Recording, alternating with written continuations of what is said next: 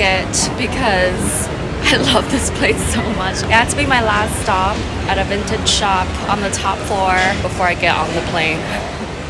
Who knew I'd be buying four vintage sunglasses in Estonia? Tallinn was my last stop in the Baltic states. Despite that, I was definitely ready to head back to Paris at this point. Tallinn was the perfect destination for a short solo travel trip. Let's make sure you start at the right place. Viru Gate is part of the ancient defense walls during the 14th century. When the entrance of the old town extended, some gates were taken down so the Viru Gate would connect the old market and Kadriorg Palace. Today, a line of flower shops leading up to the gate also showcases many restaurants, cafes, and more landmarks. Here is some of the busiest points of Tallinn where numerous events and festivals take place. St. Catherine's Passage was previously referred to as Monk's Alley since it used to cross the Dominican monastery. Believed to have been built more than 700 years ago, this charming medieval passage is home to several local shops that sell handicrafts and souvenirs today. Tallinn Old Town is action packed with travelers, locals, medieval buildings, live music, restaurants, bars, cafes, and more. As the oldest part of Tallinn, Old Town is symbolic of a city plan from the 13th century. During World War II, Tallinn experienced aerial bombings by the Soviet Air Force when the city was under German occupation. The most damage was done in 1944 when over a thousand bombs destroyed 10% of Old Town's buildings, then created fires that killed locals and left 20,000 people homeless. Raekoja plats is the town hall square situated in the middle of Tallinn Old Town. Markets, exhibition are also held occasionally. A Christmas tree has been celebrated here since 1441, marking the Tallinn Christmas tree display more than 580 years old. In Tallinn Old Town, you'll stroll down Voorimehe Street, which means coachman. Today, it's one of the oldest and most charming alleys in the city where vinyl shops, chocolaterie, cafes reside. It's my first stop in Tallinn, Estonia. We are at one of my favorite things to do, which is at their market. Balti Jaama Turg is one of the best places to shop in Tallinn as it includes 300 vendors over three floors that cover both the interior and exterior spaces. At the entrance, there are several supermarkets, large halls for vegetables, the famous Estonian rye bread, cured meats, organic and natural products, and lots of dining options. Of course, I got myself some pelmenis or delicious dumplings dumplings make me so happy. It's all I want when I'm here, just eat these dumplings.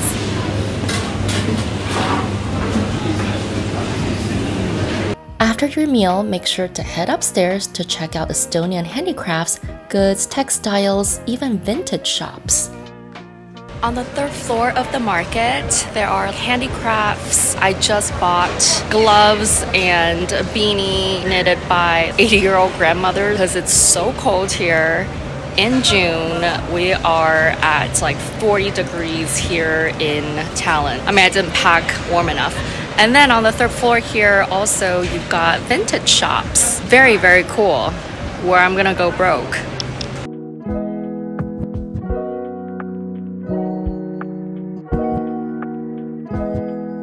Here at the Telliskivi Creative Center. It's where a lot of young people are coming to uh, have a drink at night instead of some of the cocktail bars that I've hit up in Old Town. Also, here in this area, there's a lot of like tap rooms, distilleries, independent shops cafes. I mean, I'm seeing a lot of street art. There's definitely like a very bohemian energy here. Gentrified, colorful, all that good stuff. I can't wait to check it out.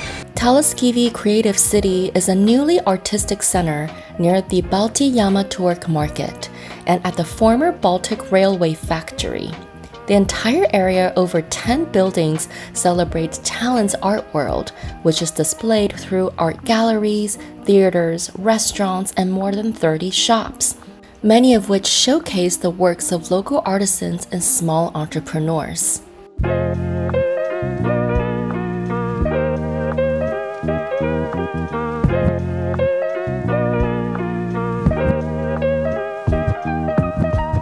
Estonia History Museum. It is 12 euros to enter. There are multiple floors and uh, kind of goes through the history of this country. Today's Estonian History Museum is housed inside the Great Guild Hall, which is more than 600 years old with an ancient theater and wine cellar. Since the 14th century, the Great Guild was for artisans and merchants to host events within the walls of classic medieval Estonian architecture. At the present day museum, there's a permanent exhibition called My Free Country, which explains 100 years of the Republic Estonia.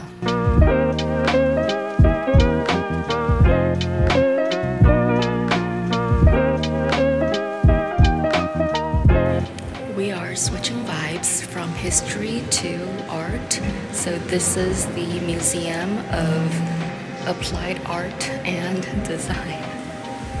Estonia Museum of Applied Art and Design is made for art fanatics and takes place in a former granary built in 1683 to 1695.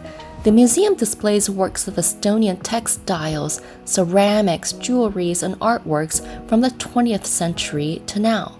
There are different levels that feature over 18,000 museum items from Estonian collections of applied art, design, and photography.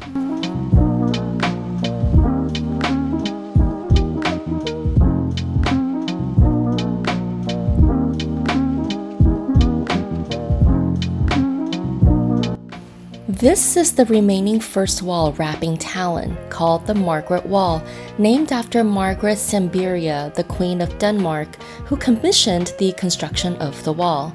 This part of the wall is the reason why Tallinn Old Town became a World Heritage Site.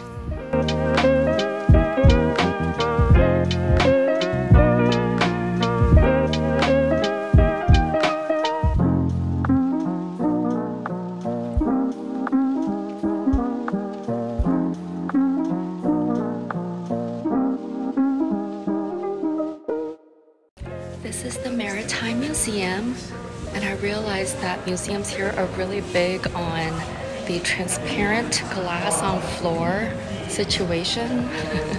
Seen it a few times in several museums, but this is one of the more significant, more comprehensive museums here in Tallinn. One of the most popular museums in Tallinn is the Estonia Maritime Museum, which illustrates Estonia's vibrant history of navigation and ships.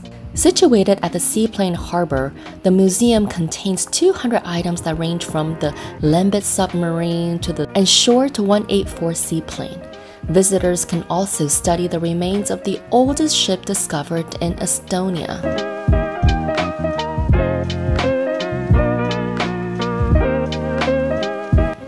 St. Olaf's Church was built during the 12th century and was the epicenter of Tallinn's Scandinavian community before Denmark occupied Tallinn in 1219. The name came from King Olaf II of Norway.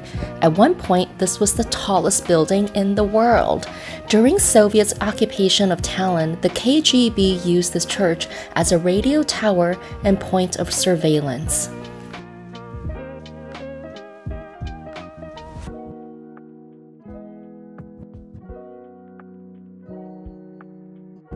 The chocolate brand in Estonia is Kalev with its wide selection of flavors and textures. Make sure to stock up on marzipans, which are confections made from sugar, honey, and ground almonds. One of the largest museums in Tallinn is Kumu, which is also one of the biggest art museums in Northern Europe. Kumu stands for Kunstimuseum, meaning Museum of Art.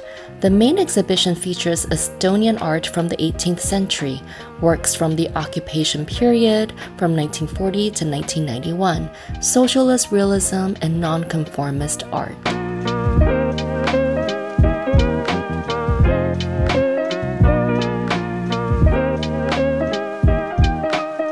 Just finished the Kumu Museum. Can safely say that it is one of my favorite museums so far. It showcases different eras of Estonian art from Baltic German, National Romantic, futuristic, influences from Soviet Union, Finnish cultural influences as well. So I highly recommend it. it was extremely comprehensive. You just gotta check it out when you're here in Tallinn.